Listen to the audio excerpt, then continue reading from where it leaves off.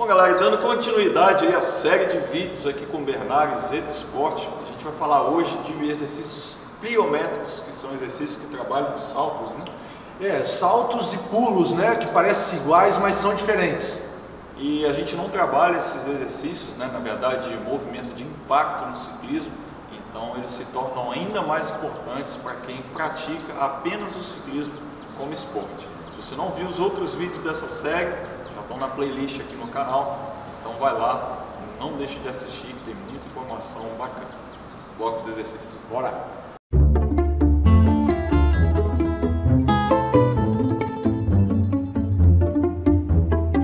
Bom pessoal, como combinado, nós vamos entrar com uma série de treinamento pliométricos, que são saltos e pulos, né, que faz com que a gente tenha maior potência muscular, consiga exercer maior força no pedal em qualquer outra atividade, tá? Os saltos eles são importantes, o impacto no chão é importante para o ciclista principalmente, que a prática esportiva dele não, não tem impacto, que é exatamente no impacto que tem o nosso fortalecimento ósseo acontece.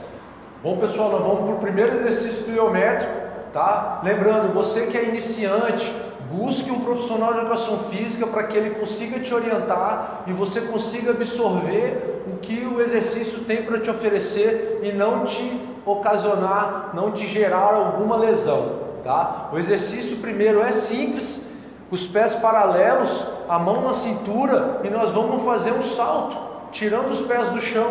Ó, saltou, absorve, volta, salta, absorve, volta.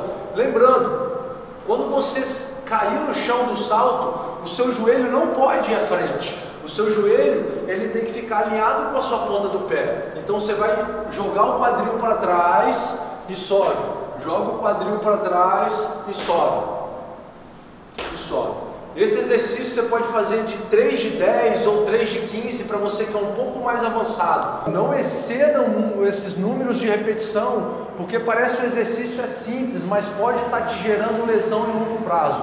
Tá? Então faça poucas repetições inicialmente, deixe o seu corpo reagir ao seu treinamento e você dá prosseguimento ao aumento das repetições. Bom pessoal, o segundo exercício que a gente separou para o treinamento quilométrico é um exercício também que o Fernando está fazendo no seu treinamento, que é um deslocamento do corpo lateralmente com uma perna só. Você vai impulsionar uma perna jogando o corpo para o lado, ó. pula para um lado e pula para o outro. Pula, absorve e volta. Absorve e volta. Estende. Esse exercício além de trabalhar a pliometria unilateral e lateralmente, ele também trabalha a estabilidade do joelho e a mobilidade do tornozelo.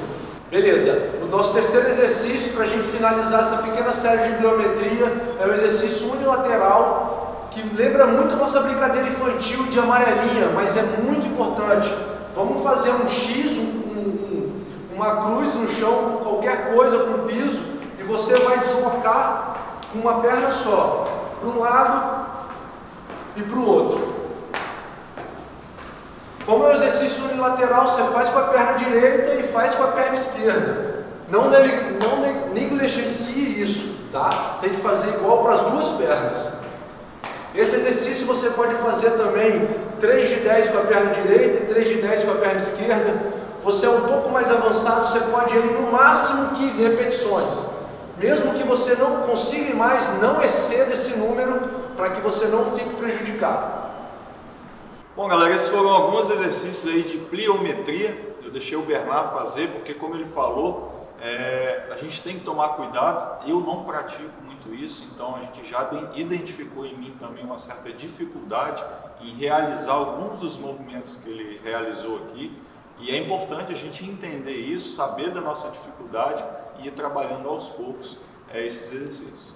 Isso, lembrando, né, Fernando, como a gente falou, a orientação de um profissional é muito importante. Esses exercícios são exercícios mais complexos, parece simples, mas são mais complexos. Porém, feito da forma correta, vai te dar um benefício muito legal. Você vai ter mais potência, mais força nos sprints para subir morro com mountain bike. Isso vai te gerar um benefício muito grande. Existem outros exercícios que eu estou fazendo A gente vai mostrar aí, quem já acompanhou os stories no Instagram já está vendo, que são similares a esses aqui, que são similares a, a pulos mesmos, a amarelinho, como ele falou e tudo mais, ficar pulando de um pé só, para frente, para trás, alternando de um lado para o outro. Então são alternâncias a esses exercícios que a gente deve mostrar no próximo vídeo e também nos stories lá no Instagram. Então vai lá, não deixe de acompanhar. Se quiser saber mais sobre esses exercícios, tem uma playlist aqui no canal, a gente vai gravar mais conteúdo para vocês. Estou com o Bernardo, a Zeta Esportes, e a gente está trazendo o melhor exercício funcional para você fazer em casa.